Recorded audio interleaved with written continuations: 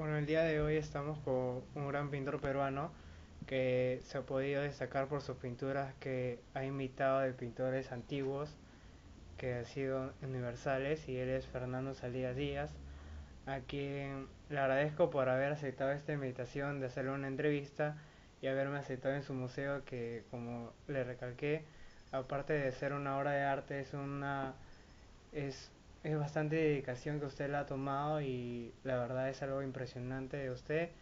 Y le quería conocer un poco más a usted, ¿no? De qué parte del Perú usted viene, o si es de Lima o, de algún otro lugar, o, y sus estudios primarios, ¿dónde lo realizó? ¿Acá o en otro lado? Muy bien. Yo soy Fernando Saltías y desde muy niño tuve la vocación de seguir la carrera artística. Y por eso desde que estaba yo en el colegio eh, mm, tuve la, ocasiones pues de irme expresando eh, haciendo trabajos particulares así de, de dibujos y todo porque este, a veces dice, se dice pues que uno tiene una hereda vocaciones, ¿no? Yo eh, no soy de Lima y mi, mi abuela que era francesa era, fue concertista de piano el primer premio del conservatorio en Francia. Y mi otra abuela era belga y, y tenido yo pues eh, en el desarrollo de, mi pintura la vocación de la pintura flamenca y la, y, la hermana de, mi, de, mi, abuela paterna, que era la concertista, su hermana era pintora y escultora. Entonces, pienso yo que por ese lado he tenido yo he recibido, se puede decir, uh, las um, condiciones seguramente eh, que me han alentado a, a continuar el arte, el arte como vocación y profesión. Bueno, este, se sabe que su pintura, eh, los estudios de pintura los realizó en la Escuela de Bellas Artes, pero no conforme de los estudios y conocimientos que había adquirido ahí, se fue a Europa a desarrollar técnicas pictóricas. ¿Me puede contar cómo fue ese proceso o, o esa Ya, eh, animación? sí. Eh, en realidad, este, como yo no estaba satisfecho de lo que había aprendido en la Escuela de Bellas Artes, eh, me puse a estudiar en forma particular no lo que dicen los libros, porque muchas veces eh, los libros de historia del arte están escritos por este, historiadores de arte que muchas veces no saben ni coger un pincel y sin embargo dicen así pintaba fulano de tal, eh, así pintaba el otro artista y, ellos eh, este, no podían pues en realidad eh, explicar cómo pintar un, pintor si no, si no manejan, no saben manejar el pincel. O sea, y yo he comprobado muchas cosas eh, que he leído así y que con la práctica que he llevado eh, que me ha demostrado pues que lo que decía tal o cual este, autor de, de, de los libros eh, era un error o un, un engaño. Y este, cuando usted llegó a Europa, ¿fue fácil adaptarse a, ese ambiente? No, este, el arte, eh, llegué a Europa, eso fue después. Primero he llevado un buen tiempo en que me fui yo perfeccionando, en, haciendo eh, unos trabajos que no era por copiar, era para aprender, porque los mismos maestros, eh, desde niño, lo que hacían era copiar a sus maestros, a, a cuadros que eran, o trabajaban con los propios maestros y este, copiaban sus, las obras. De esa manera se, uno se perfeccionaba, porque eh, normalmente un, artista, eh, en el caso de un pintor, eh, tiene, vamos a decir, una paleta de colores. Y, con esos colores hace las mezclas. ¿no? Y, y da un, unas tonalidades que son propias de, la persona que recién comienza. Y, a, y al, uno al copiar se obliga a, a buscar unos colores que antes no los realizaba. Porque ahora uno, al, al copiar, uno se, se, exige y se obliga a, a, crear un nuevo, un, un, nuevo color y buscar eh, esos tonos. Entonces, poco a poco, poco a poco, este, se puede uno ver cómo se ha perfeccionado. Yo les voy a mostrar un cuadro, por ejemplo acá, cuando he comenzado, eh, este, cuando estaba yo en la Escuela de Bellas Artes y que trabajaba, se puede decir, cuando todavía no, no está bien formado y, y, voy a enseñarle el cuadro que me he tomado yo como eh, como ejemplo un cuadro de Bacaflor son tres cuadros de Bacaflor que hice para saber como un autoexamen y decir, bueno, quiero este, a qué nivel he llegado, ¿no? No yendo a, a Europa todavía, estaba yo acá.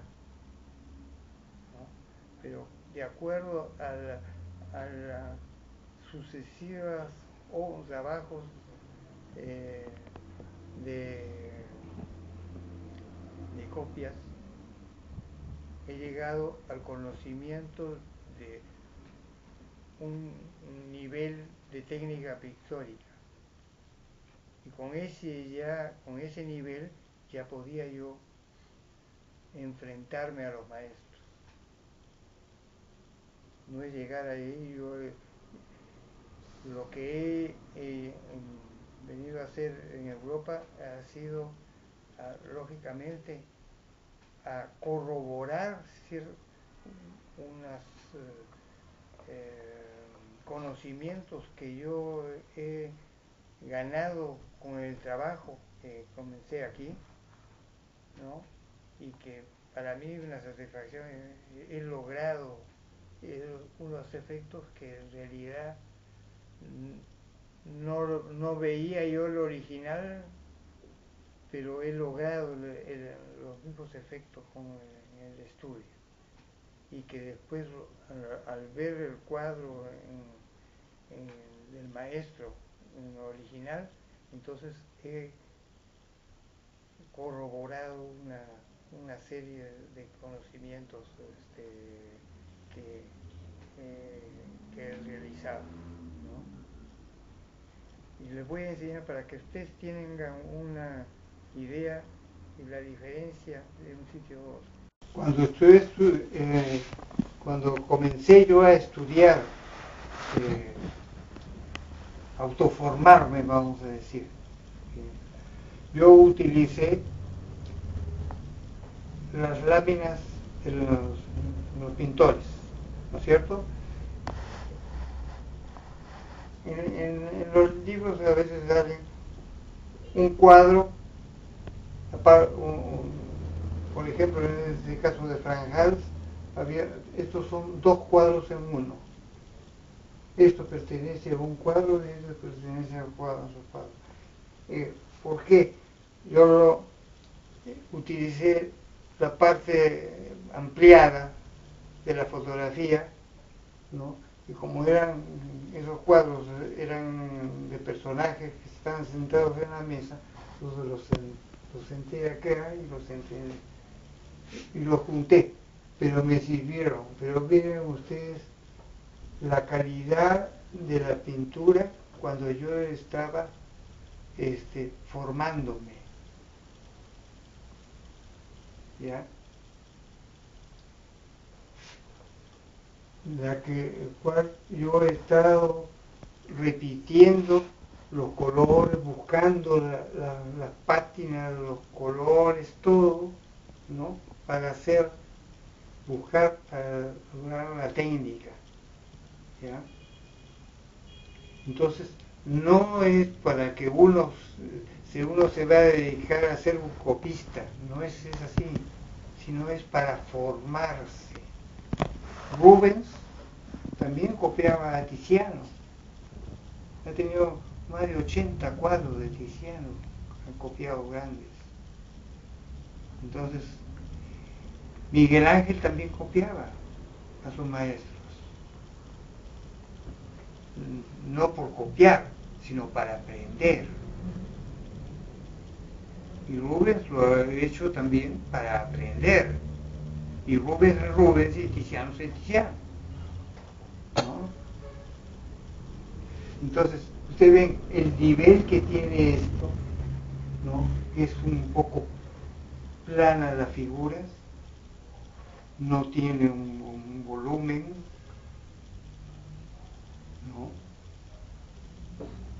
y van ustedes a ver los cuadros que yo he hecho, que me sirvieron a mí de, de examen, ¿no? y de ahí, claro, un trabajado este, delante del original. Esto es tomar delante de, la, de una lámina de un libro. ¿no? Y los otros, los de Bacaflor, son ya pintados en el museo, en el Museo de Arte, donde está los cuadros de Bacaflor, ¿no?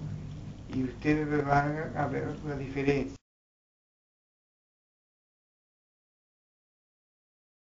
Durante la etapa de todo el proceso de aprendizaje de la pintura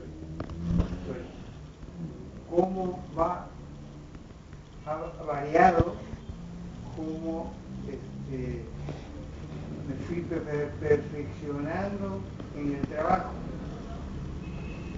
No es cuestión de una semana, es un tiempo. Como se puede decir, algunos años de trabajo. Porque yo trataba de redescubrir la manera como trabajaba.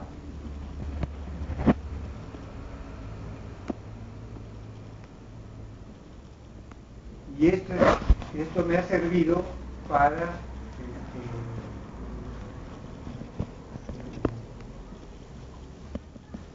obtener el conocimiento para poder desarrollar mi propia pintura. Esa era una etapa de formación.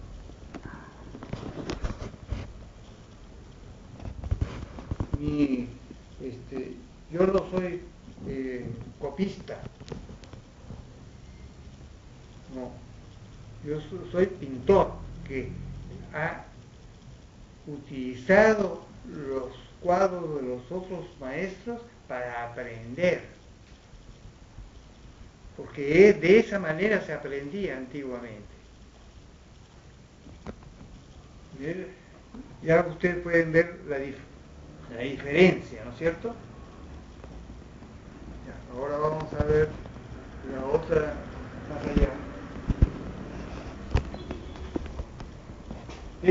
Estos, también son cuadros de pinturas holandesas, ¿ya?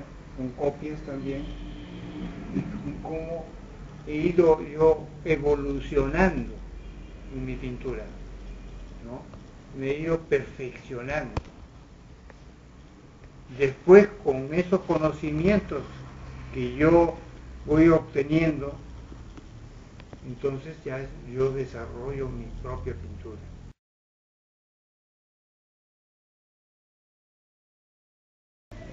ahí, para que vean no está muy perfecto, pero bueno.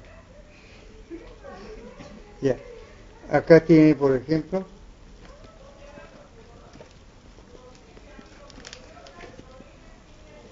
este, este es el original y este es el trabajo de hecho.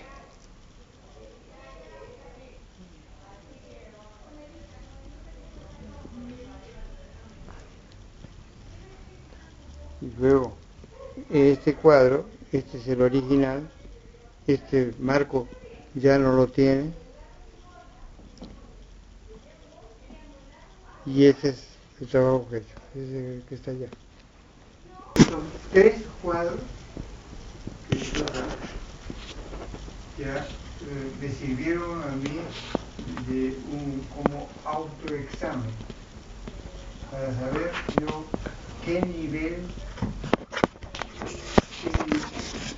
había yo este, desarrollado para poderme este, enfrentar a maestros.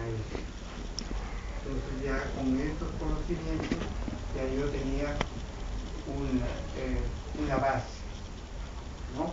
Me ha servido con mis conocimientos, mis estudios, para yo después desarrollar todo y ya estos de aquí eh,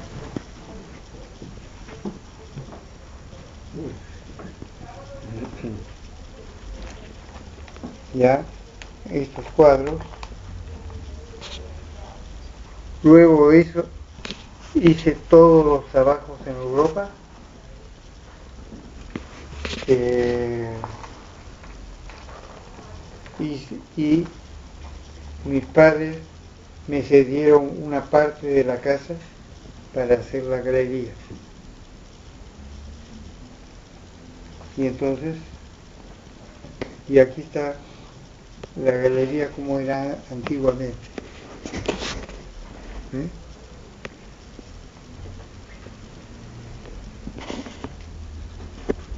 Totalmente. Estos son las mismas habitaciones. Son los mismos cuadros, pero yo consideré que estaban fuera de contexto, porque los cuadros estaban eh, originalmente hechos para unos estilos, para unos ambientes, ¿no? para que eh, se vea cómo es el cuadro. O sea, antes no lo podía demostrar así. Eso. ¿Cómo? Antes no lo podía demostrar así en los cuadros. Sí, miren, eh, este, este, este, cuadro es este, ¿no? Este de acá es ese de allá, ¿no? lucen igual estos cuadros como está ahora. Bueno, ahora se aprecia mejor los cuadros. Están dentro de un ambiente que era, porque esto es como un ambiente del siglo XVII. Entonces, como estaba en su época. Usted lo decoró conforme al siglo, en la época ¿Cómo? usted, usted lo decoró conforme este, este al- a la época del, de que aparecieron estos cuadros. Bueno, el, el estilo barroco de, de épocas eh, es más o menos así, en los ambientes, ¿no es cierto? Entonces, este, está de ac- acuerdo a cómo se exhibían o se crearon esos cuadros y se pusieron por. Ahora los, museos es todo plano, llano, es, una cosa fría, fuera del contexto.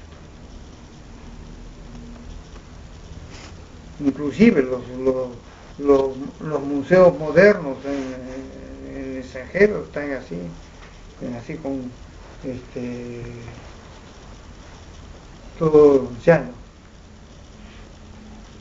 Pero algunos y otros no, otros están todo piso de mármol, zócalo de mármol, eh, con telas este, muy ricas puestas en las paredes, todo, porque le quieren dar nivel.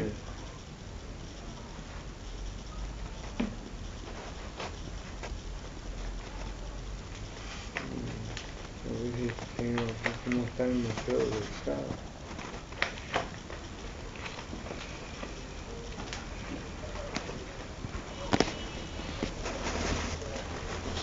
Aquí estoy en el Museo del Prado, ¿no?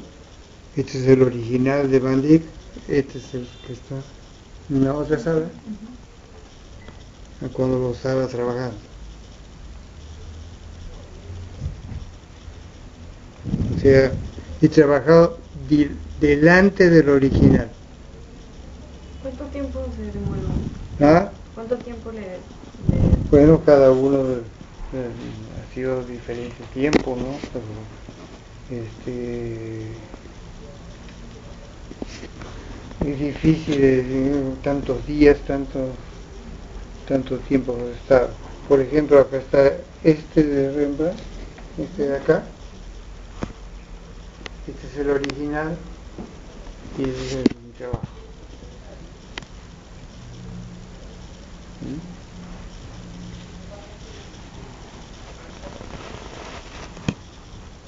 Cuando estudié en restauración, que estaba en, este es el Instituto Real, este, eh, yo estudié restauración en, en este instituto que es el más grande del mundo de restauración.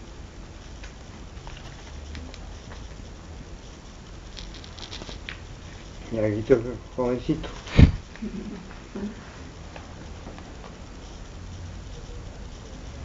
Y acá ¿no? el original y copia. Pero son trabajos de formación, de perfeccionamiento, no porque uno se, porque uno ha hecho una copia, eh, ya es un copista, no. Entonces, este, eh, que los, los maestros que también copiaron, que son este, antes eh, se tenía otro concepto de lo que es copia. Ahora uno dice "Mm, es una copia, entonces ya cosas así, eh, vamos a otro nivel. Antiguamente no se tomaba. Era totalmente diferente el concepto de copia eh, como se tenía antiguamente el, el concepto que, que hay ahora. Maestro, ¿y cómo surgió la idea de hacer un museo de arte Fernando Salidas Díaz? La- en realidad, este, cuando hizo los trabajos eh, en Europa, este, dije mejor hago todos estos trabajos y los reúno para este, hacer una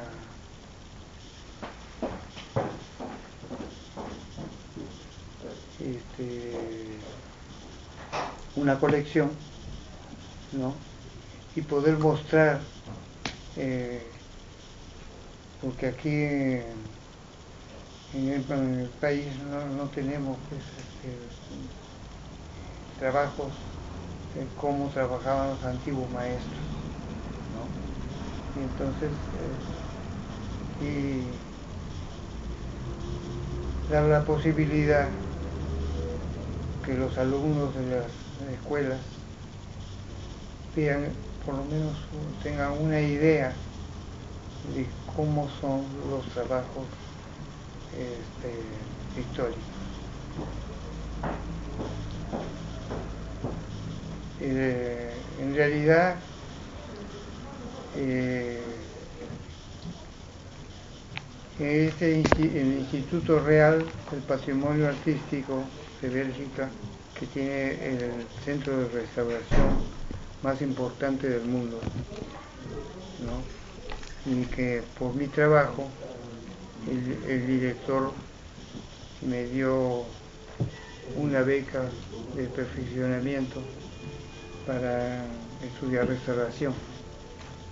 Yo no era restaurador, pero en ese instituto daba un curso internacional solamente para restauradores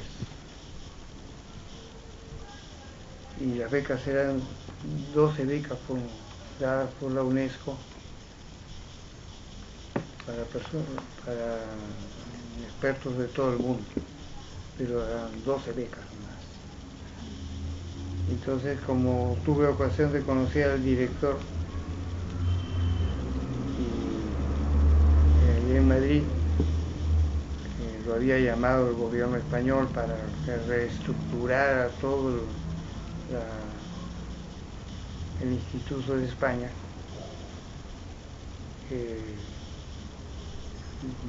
hubo la ocasión de que él viera mi trabajo que yo estaba haciendo en el Museo del Prado, se lo mostré, y entonces él me invitó a Bruselas para que conociera el instituto. Entonces, cuando hice ya el cuadro este es la cabeza de negro de, de Rubens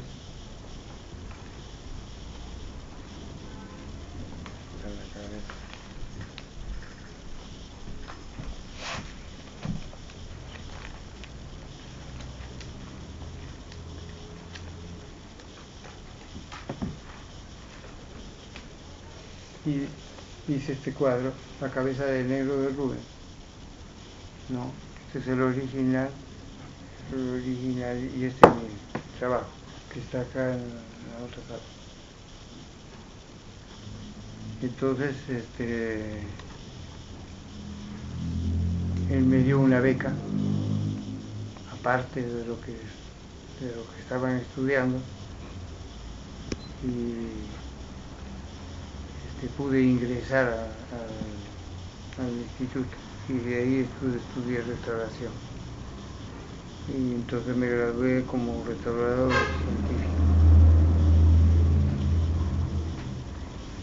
Así que este, todo esto ha sido todo un proceso.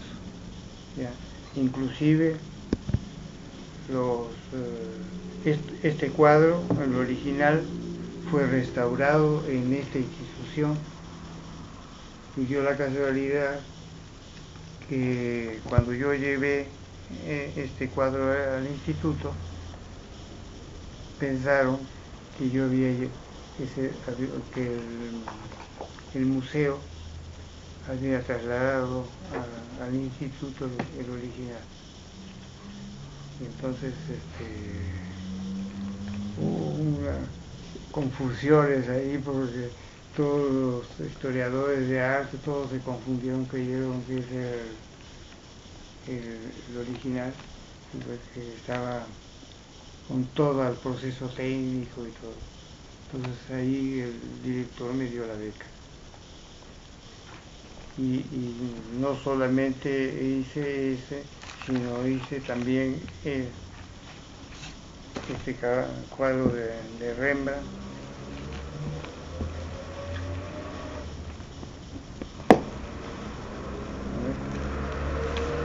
este de Rembrandt que está en la otra sala acá está la copia y este es el original pero todo ha sido como proceso de este, tener un conocimiento de todo el proceso técnico. Al, extremo llegaron, como yo lo he hecho, le hizo al tamaño original, todo, tanto por el exterior como el interior del cuadro, eran iguales. Entonces, como este cuadro también fue restaurado en el instituto, en, el instituto este, tomaron una radiografía al cuadro que yo había hecho para compararlo con la radiografía del cuadro original, porque no sabían cuál era.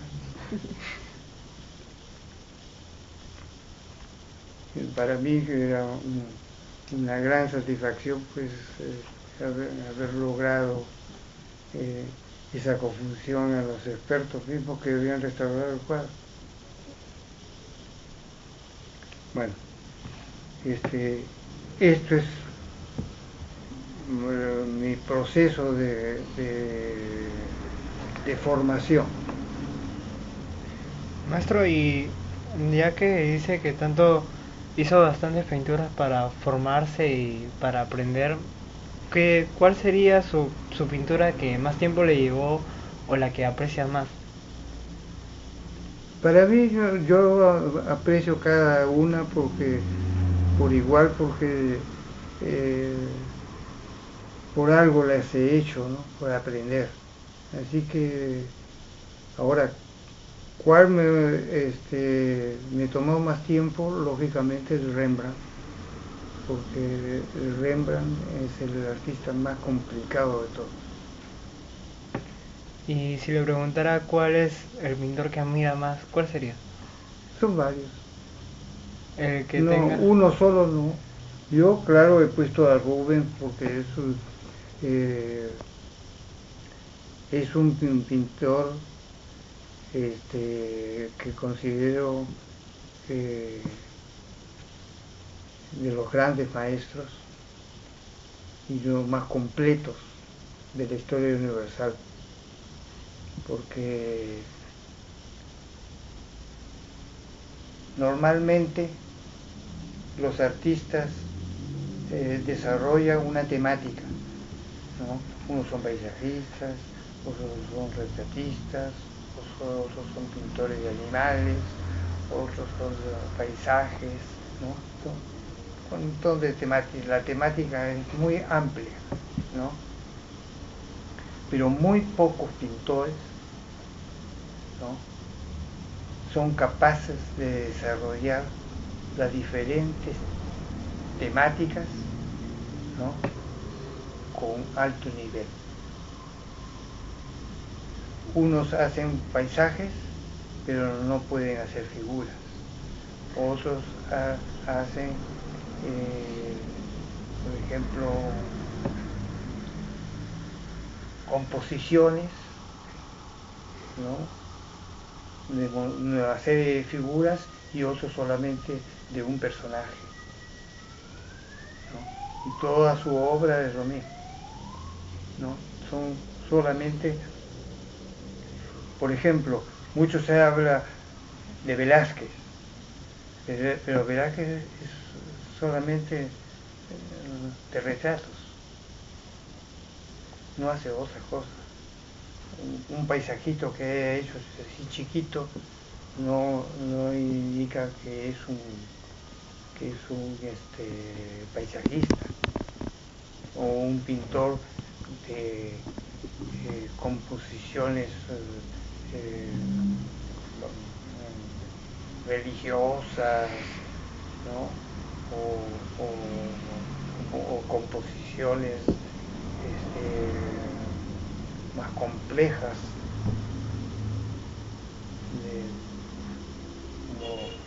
como, lo que hacía Rubens. Rubens ha desarrollado todas las temáticas con un alto nivel como, como, lo era Tiziano y muchos pintores italianos pero ah, son muy pocos los que eh, desarrollan todas las temáticas, son capaces de desarrollar a alto nivel todas las temáticas. O sea, son los más completos. Y entre esos, Rubens es uno de ellos. bueno, este, nosotros hemos podido apreciar en, en el museo que ha pintado un cuadro de Artemisia. ¿Nos puede decir por qué decidió pintarla y qué significado tiene para ustedes el proceso de Porque es que en el Museo del Prado había muchos eh, copistas que pintaban o repetían el cuadro no con el proceso de, de aprender, sino simplemente de copiar, o, sea, de repetir la, imagen, pero sin la técnica. Prácticamente de los más de 100 copistas que había en el, eh, en el Prado, que de lo que hacían trabajos así de investigación, haciendo todo el trabajo técnico, yo era el único. Y los otros eh, se dedicaban a, si aquí había rojo, le ponían el rojo, pero no, las capas tienen eh, unas transparencias, ¿no? Que no, claro, si uno lo ve de lejos, tiene la, apariencia, pero uno se acerca y ya es totalmente diferente eh, eh, esa copia con el, original que, tiene otra técnica, ¿no? Entonces, y eso eh, estaban ellos trabajando en el Prado para vender el cuadro a los turistas.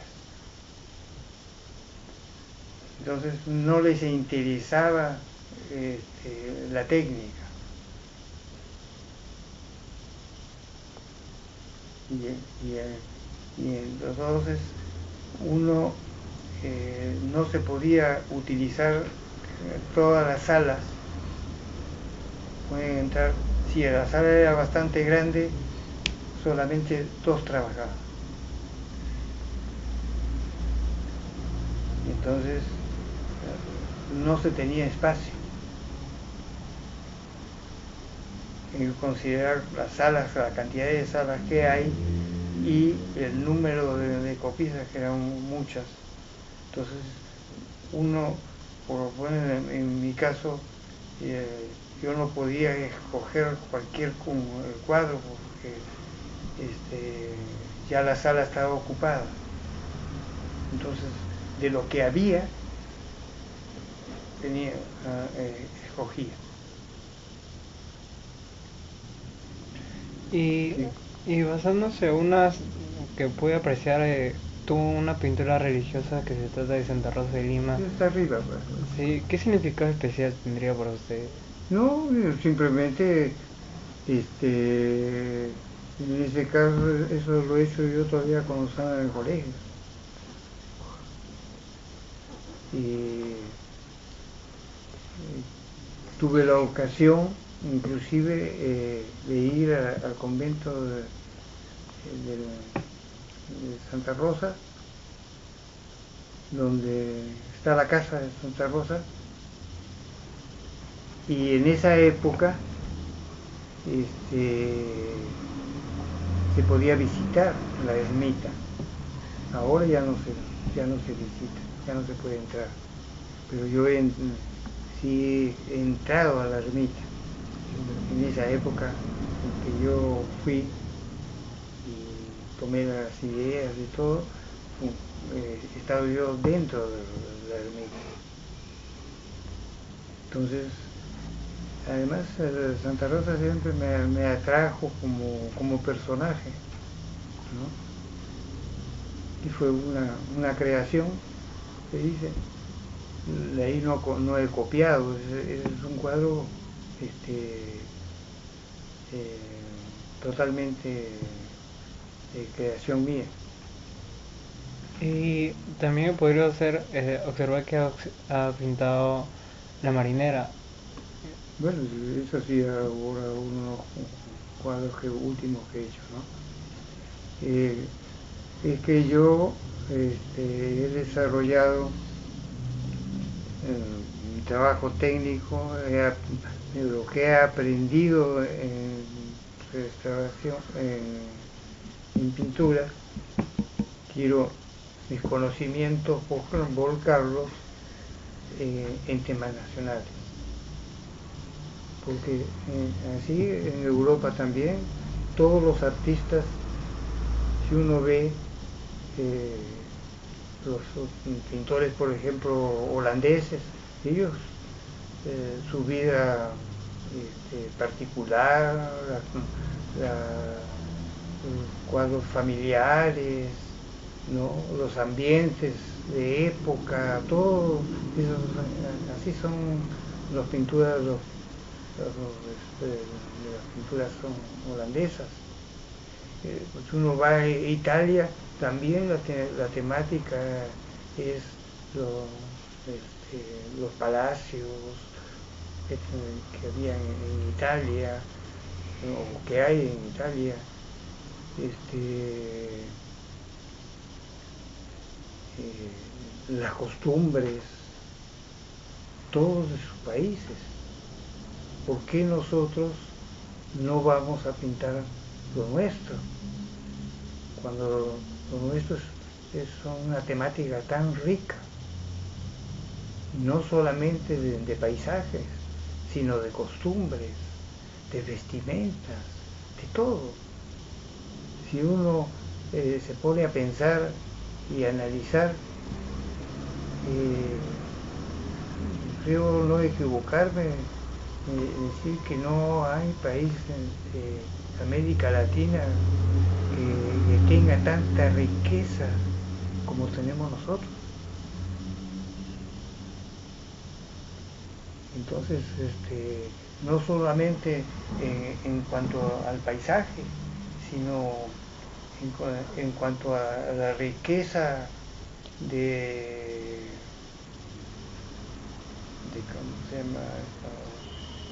eh, las culturas antiguas.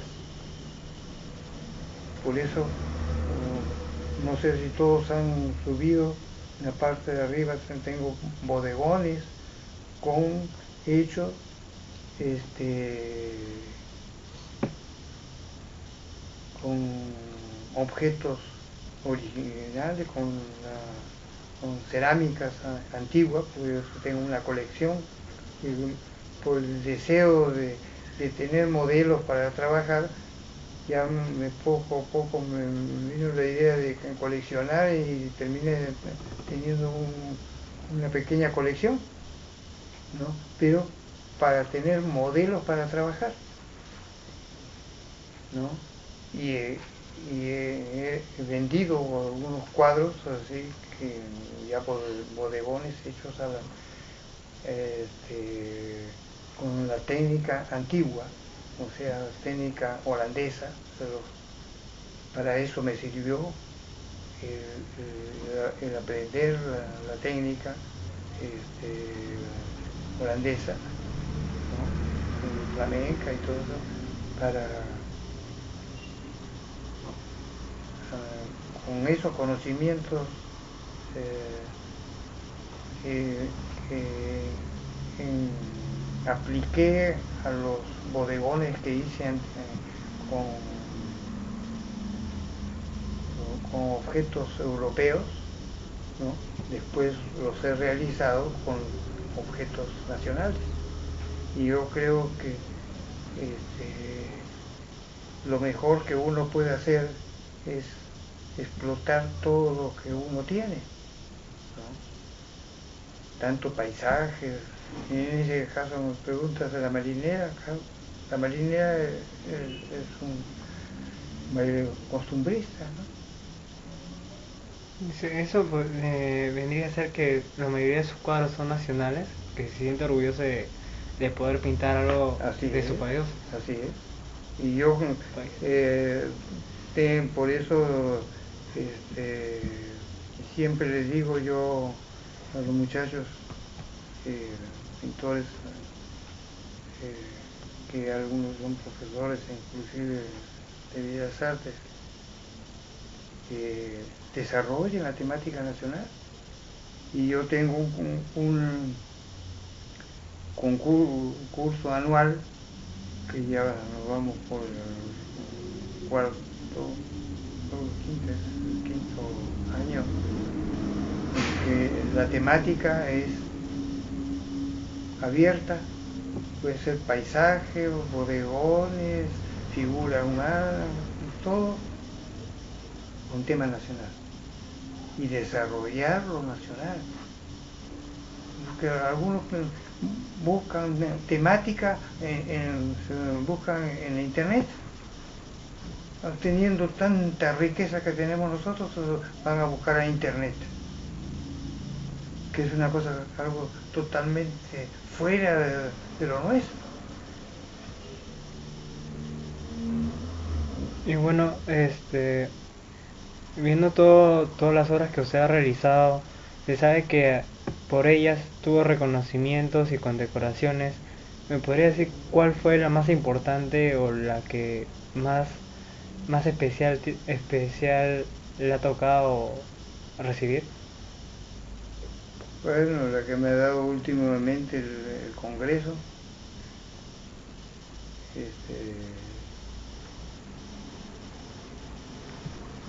que me ha, este, me ha condecorado, el Congreso de la República, que, la, la, la, Comisión de Cultura. Eh, el Congreso es la la institución, eh, se puede decir, el primer este, poder del Estado, está inclusive sobre el presidente, porque eh, tiene que pedir, permiso, el presidente eh, se lo pide al Congreso. No puede salir del país si el Congreso no le da permiso y es el presidente de la República. Entonces se podría decir que ese fue el reconocimiento que más, eh, más Por, por nivel, sí. Por nivel. Tengo también, eh, inclusive de la municipalidad de acá, tengo de San Marcos, este,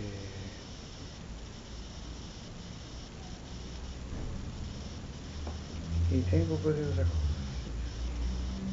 ¿Y qué siente usted al, ver que ha cumplido tantas metas y tantos anhelos que se ha planteado desde muy chico? Porque como dice, desde muy chico me ha gustado el dibujo, me ha gustado pintar. ¿Piensa que sus metas ya las logró o tiene, tiene algunas metas más planeadas para adelante? Las metas de uno es eh, perfeccionarse porque uno no, nunca acaba de, hacerlo. Siempre se está aprendiendo, cada día se aprende.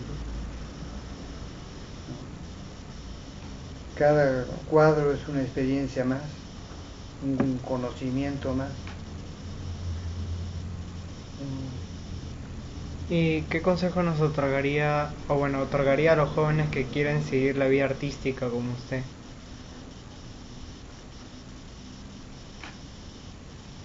Saber estar seguro de lo que de lo que se quiere, tener una meta siempre eh, perfeccionarse más.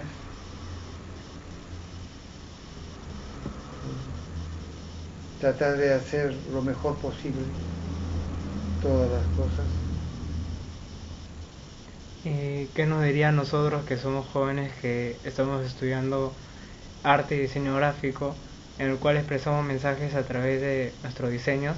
Y como usted antes de comenzar nos dijo que son simples líneas, pero que tratan de expresar mucho. ¿Qué nos, qué nos diría a nosotros? ¿Qué consejos nos daría? Bueno, lo, mismo. Este, si ustedes tienen el deseo de, seguir el, diseño gráfico, perfecto. Pero todo eh, hacerlo con tratar de hacerlo lo mejor que uno puede. O sea, siempre tratar de hacerlo lo mejor. Y ahí después solo va saliendo todo el trabajo. Si, uno en, realidad este, se esfuerza y se aplica y se experimenta cada día para perfeccionarse uno más, entonces todas las cosas van a ir saliendo como uno desea.